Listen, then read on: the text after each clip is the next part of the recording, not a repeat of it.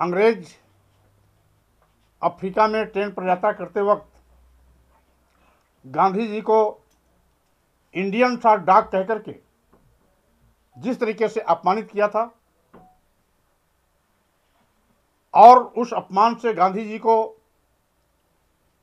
जो सदमा हुआ था, जो दिल में दर्द हुआ था, वो केवल गांधी जी ही जानते हैं। उसी प्रकार से गांधी जी का वो दर्द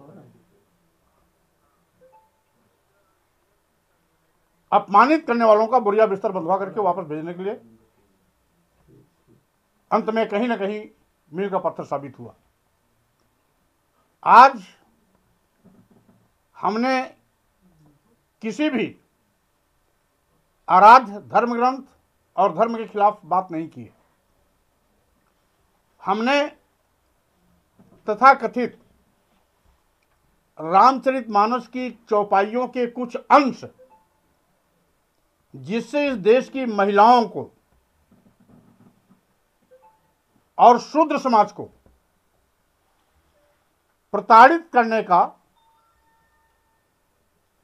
पक्षधर है और बात करता है, वहीं पर शूद्र समाज को अपमानित किए जाने की व्याख्या करता है शूद्र समाज में आने वाली कुछ जातियों को इंगित कर, नीच और अधम कहता है,